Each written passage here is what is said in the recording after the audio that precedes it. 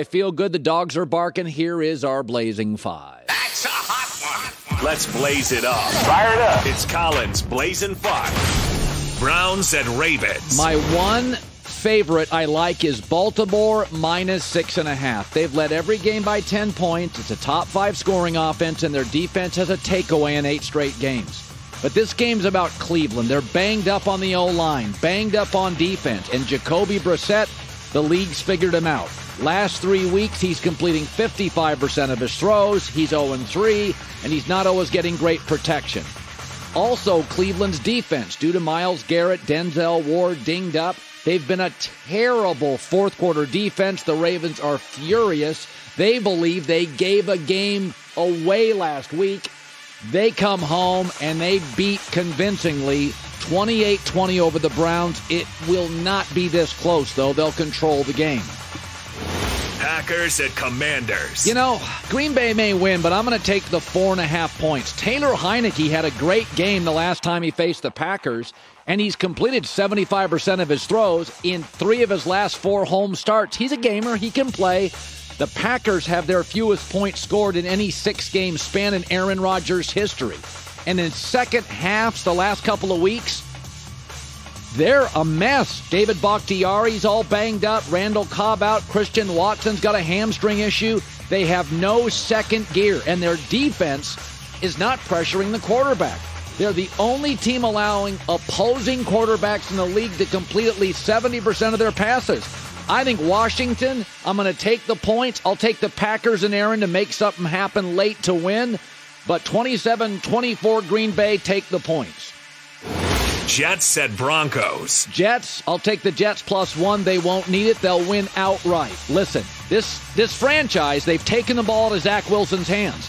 He doesn't have any giveaways in five of his last six starts, and they're giving the ball to their running back, Bruce Breece Hall, who's great. 400 scrimmage yards the last three weeks. This is a defense run first team, and they've taken the ball out of Zach's hands to make mistakes. But the story of this team is defense. Last three weeks, gaining confidence, playing their butts off, and they will dominate a mess of an offensive line in Denver. Even when Denver moves the ball, they're atrocious in the red zone. Is it coaching? Is it Russell? Is it the O line? I don't know what it is, but it is. So they're going to settle for field goals even when they move it. I take the Jets to win 24 23. I like their optimism, energy, and health right now. Chiefs at 49ers. I'm taking the Niners. They've won six straight home games, and Garoppolo is always better at home, and they're getting healthier. They're averaging 7.3 yards after the catch. That's best in the NFL. The Chiefs are not a great tackling team, but the Niners' defense is getting healthier, and they are money, baby. And in this game, I think Nick Bosa's back. Jimmy Ward could be back.